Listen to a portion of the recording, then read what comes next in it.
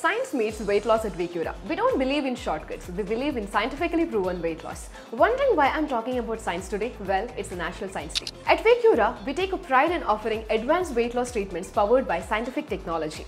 Let's get to know how our advanced scientific weight loss treatment works. All our weight loss machines use non-invasive technology, meaning no surgery, no pain and no downtime. Are you struggling with weight gain that just won't go away?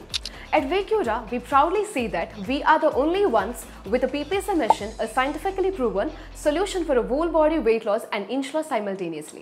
If you're seeking a long-term fat loss solution, Cool Sculpting offers FDA-approved permanent fat reduction.